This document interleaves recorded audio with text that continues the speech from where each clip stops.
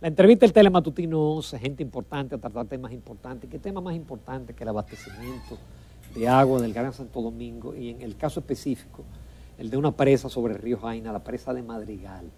Ese fue un proyecto que en el año, la década de los 80, estuvo sobre el tapete y fue, eh, finalmente, eh, no se pudo construir por una serie de circunstancias. Bernardo Vázquez era presidente del Colegio de Ingenieros en ese momento, en una fecha tan... A Jacqueline no le gusta que yo hable de fechas, en el año 83.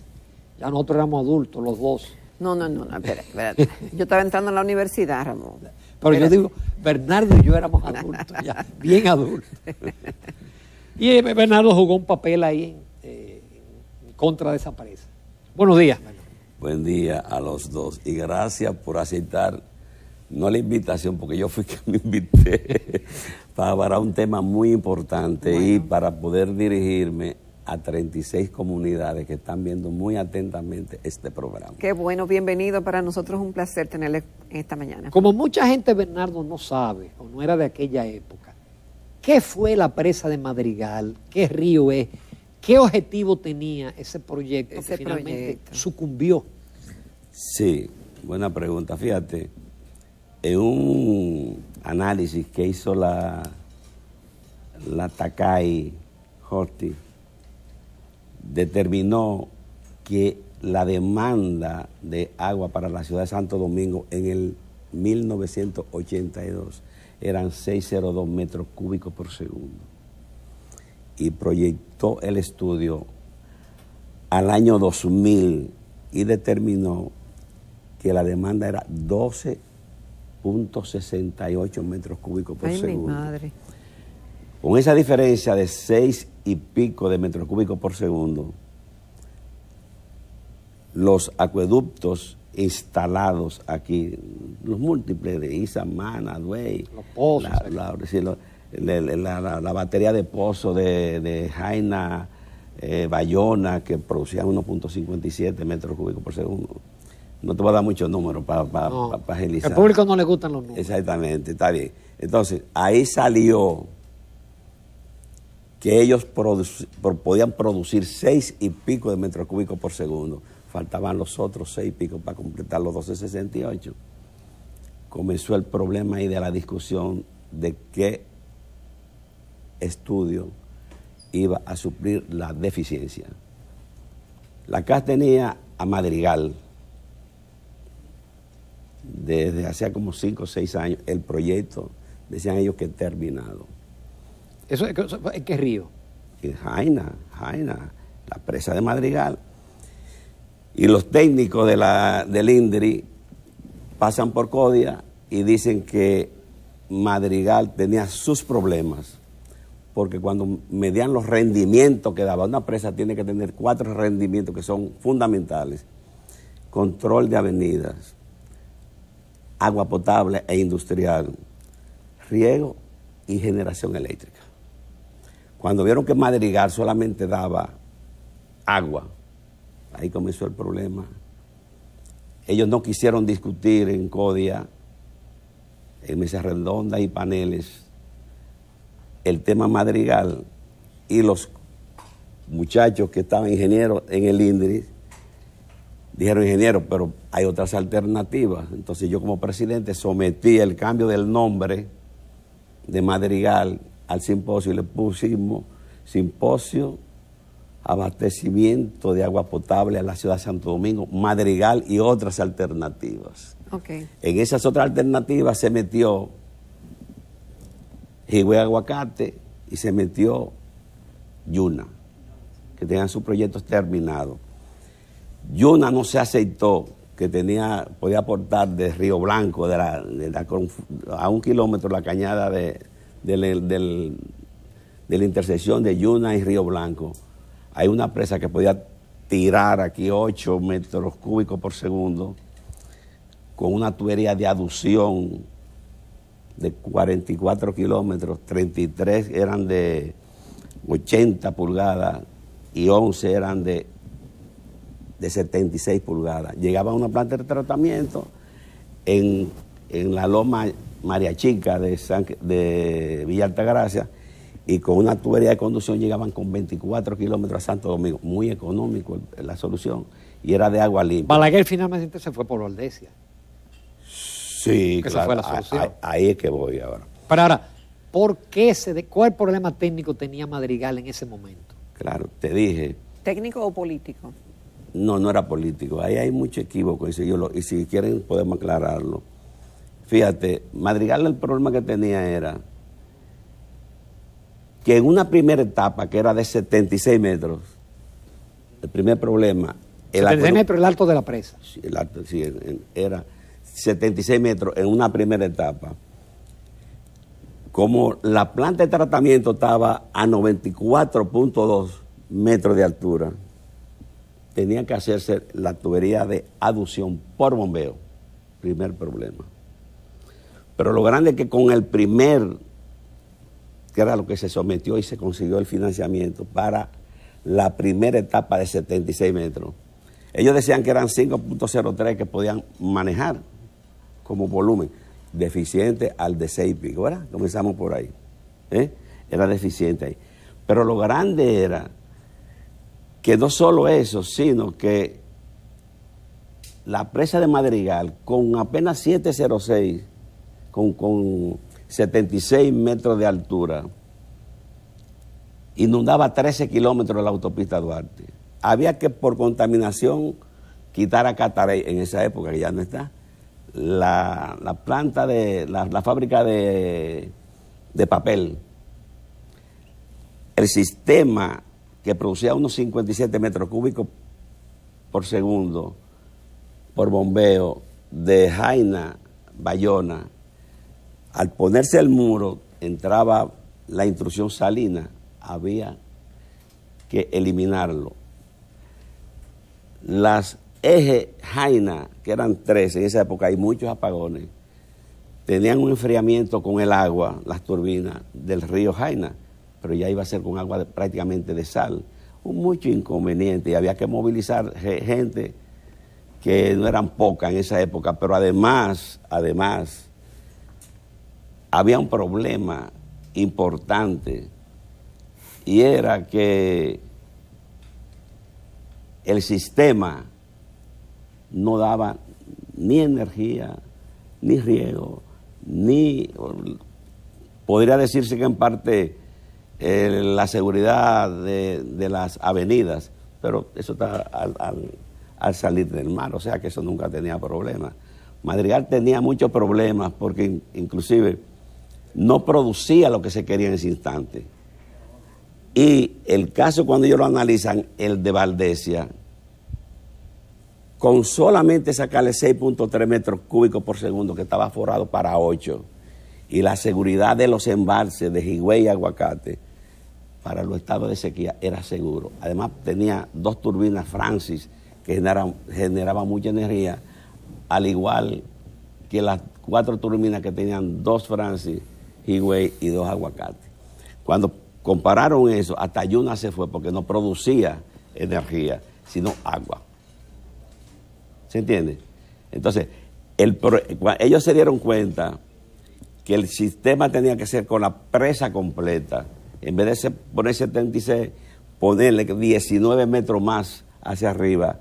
Y ahí sí daban ellos, decían 10.3, que la BOI le demostró que no eran 10.3, sino 8.3 porque el vaso que hacía la de, que ellos decían de 10.3, necesitaba 1.100 millones de metros cúbicos y el que decía en la, el diseño de, de Madrigal era de 400 metros, millones de metros cúbicos. O sea, Para ingeniero. Ya. Eh, han pasado ya eh, tres décadas, ¿verdad, Ramón? Casi cuatro. Casi 38 cuatro. años.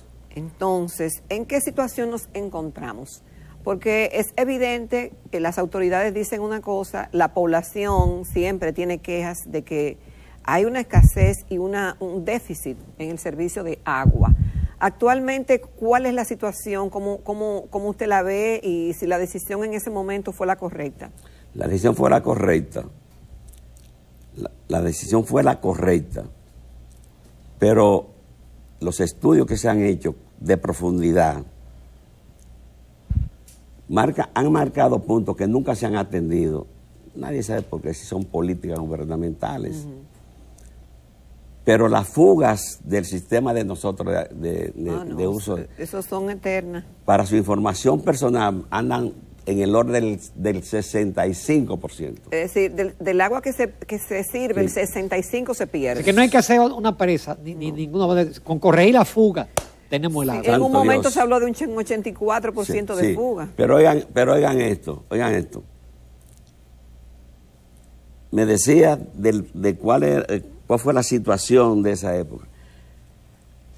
Ellos sabían que ya con un, con un nivel no se hacía nada en la presa de Madera, pero teniendo ahí de aguacate, las varía como contra el base, todo eso, se considera la cuenca del río Nizao como la más rica del país. Y la, la presa de Higüey de Aguacate eran baratísimas. Eh, y en si aquella sí- época. Pero Bernardo, aquella- ¿qué problema tiene ahora Madrigal en este momento? Exactamente. sí. ¿Qué, qué provocaría? Te voy a decir. Mira, yo tengo un levantamiento de la altimetría de alrededor de 30 puntos críticos en las 36 comunidades y quedan todas inundadas. Es hay 30 comunidades que se inundan. 36. Sí, entre ellos Villa Altagracia, que cuando yo le ponga una vareta que le diga hasta aquí llegue el lago, que son... Ese Villa Altagracia se inunda. Sí, tiene 130 en, en la calle Duarte, frente al parque. Tiene 130 metros sobre el nivel medio del mar. Y la cota de la presa 135.5. Ahí coge. Así que, ¿cu- ¿cuántas familias afectaría? Bueno, esto nosotros estamos haciendo actualmente el censo de las 36 comunidades, pero no habíamos hecho, eh, no, no nos habíamos planteado el censo de Villa Altagracia, que la semana que viene vamos a comenzar a hacerlo. Pero con una manera seria, porque hay muchas cosas que se están escondiendo. Yo fui al colegio de ingenieros y- a través del presidente solicité las documentaciones para que el director de la casa, o sí, el presidente de CODIA, nos sentáramos a una mesa a discutir qué podíamos hacer. Y ni llegaron los planos, ni asistieron ellos. Y yo como representante de las 36 comunidades, con la experiencia que tengo, pues trabajé en tres grandes proyectos de presa, tú lo sabes, y muchas cosas más, y el proyecto de Madrigal, que, que yo lo, lo manuseé muy fuertemente.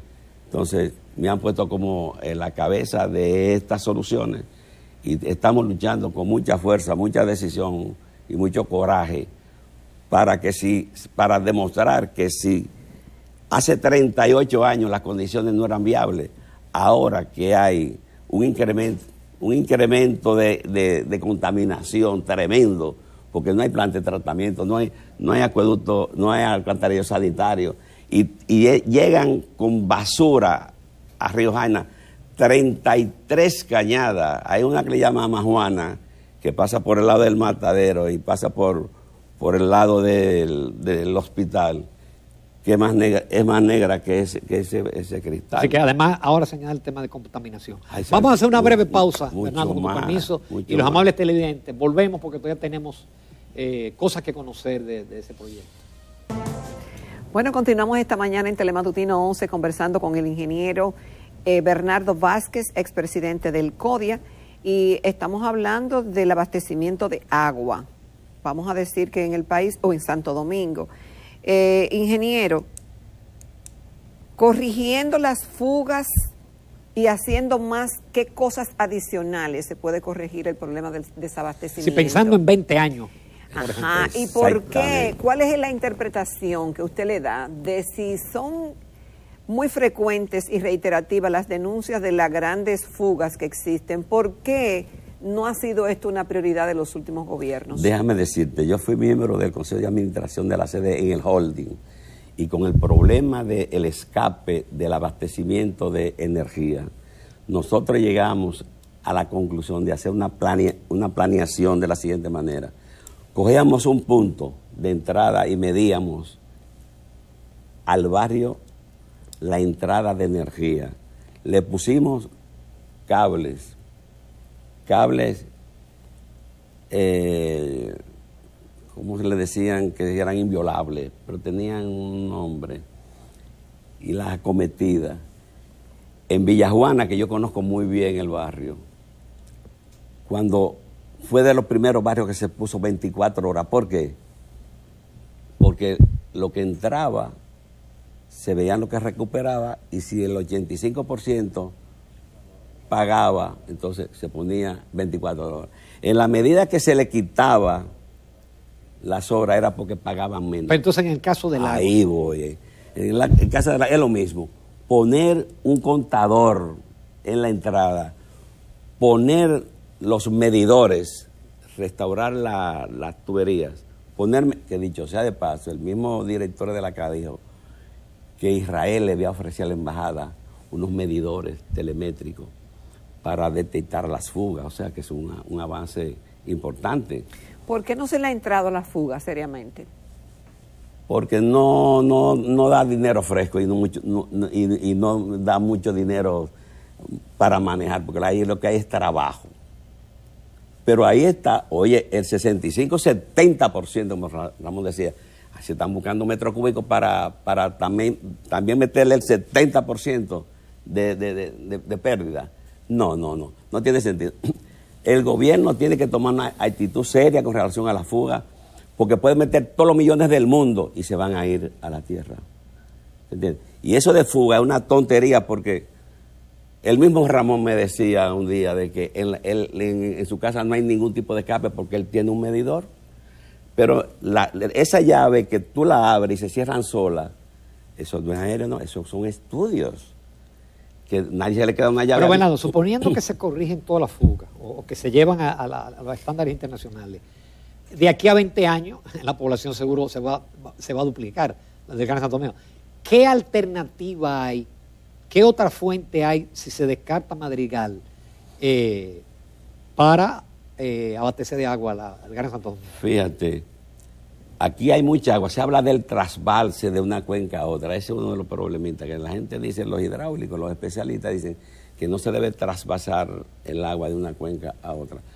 Pero a Villa Altagracia le han sacado Duey, Guananito y Samana, se lo pasan por el frente y no tiene agua.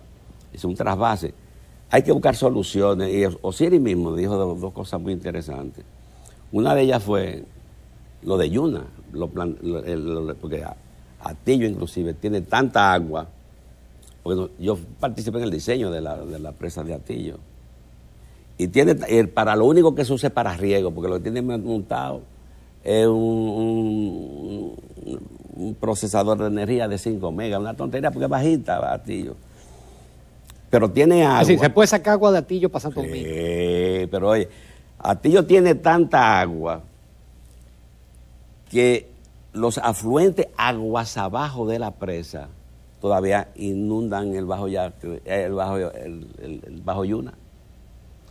Y la presa que se está hablando en Río Blanco está como a cuatro kilómetros de la presa de Atillo, pero tiene carga potencial para que llegue por gravedad. Hay agua, y Osiris habló de los haitises también, pero me da la impresión, pero eso es lo que hay que someterlo a un estudio del gobierno abierto para el abastecimiento de agua potable a Santo Domingo desde Yuna.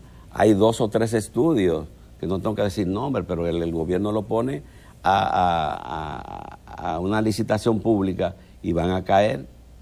Eso es una. Te voy a contestar otra muy importante de la inquietud tuya.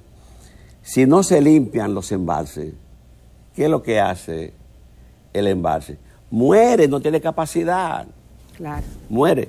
Yo fui el ideólogo y el coordinador, coordinador general del simposio más grande de ingeniería que se ha hecho aquí. Y fue limpieza de embalse y control de la cuenca aguas arriba de la presa. Ese documento, que yo espero facilitárselo a Gilberto Reynoso, en, que está ahora en el gabinete del agua, ahí vinieron técnicos hasta de Rusia, del Consejo de las Grandes Presas de Rusia. Una cosa muy importante. Y eso, tú sabes lo, que resulta, que en dos años, tres años muere Valdesia.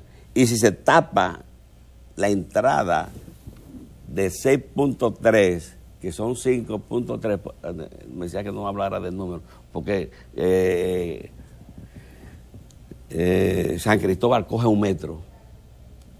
Pero si se tapa eso de golpe y porrazo, pan con una gran avenida, hay problema.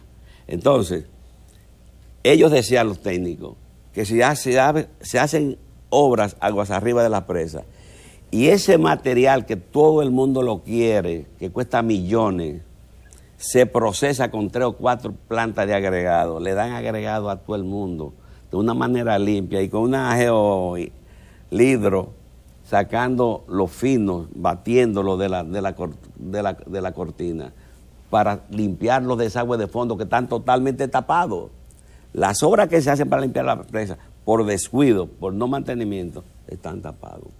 O sea, las tres cosas fundamentales, la, rehabilitación de las redes, que le pongan medidores, que concursen por sectores y a la gente que está comprando tanques de agua 500 y 600 pesos, cuando le pongan contadores que paguen 500 pesos o 600 pesos mensuales, va a pagarlo no con gusto. Por supuesto. Lo va a pagar. Pero tiene que haber una política. El director de la CA que abra un canal de televisión para que donde haya una fuga, ¿eh? que, la gente lo que quiere ser es reportero gráfico ahora, que diga en tal sitio. Y, para, para, para, evitar. Es decir, que finalmente, Bernardo, hay soluciones. Sí, hay soluciones. Hay fuga, hay presa, y tú lo que propones es que haya una especie de, de encuentro y de simposio. Sí, sí. Y donde se discutan esas soluciones. Claro, porque aquí hay demasiadas soluciones.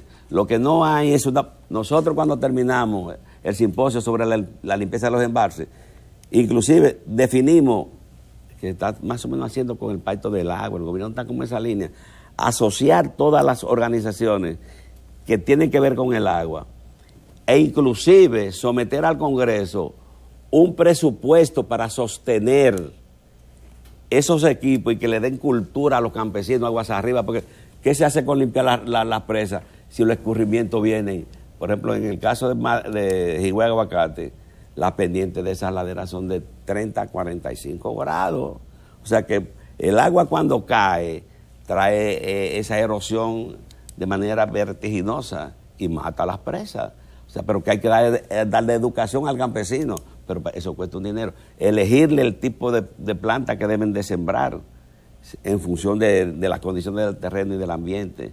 Y hacerlo en, las orillas, sembrar bambúes, para que no llegue. Yo te lo digo porque en la finca que tengo, eso está convertido en un bosque por donde quiera. Y por más agua que caiga, el agua que corre es limpia, porque tú eres ingeniero. La retención de los líquidos está garantizado por la vegetación, pero si hay un conuquismo, de tierras limpias. ¿Qué hace la tierra? Se lleva todo. Se lleva todo y tapa Yo creo que está muy claro, Bernardo. Ojalá las autoridades te escuchen y, se celebre un simposio y que se discute este tema. Sí, que es muy necesario para el país. ¿eh? Muy necesario, porque yo creo que eh, es inclusive es rentable la recuperación de las presas. Es en el caso principalmente de Valdesia, que tiene tan cerca Semana Santa, que Semana Santa es un problema para el país. Perfectamente. Muchísimas gracias, Bernardo Vázquez. Nos vamos a comerciales. En el próximo segmento vamos a conversar con el ingeniero Lorenzo Ramírez, director del Instituto Dominicano de Calidad. Lo vamos a hacer vía Skype.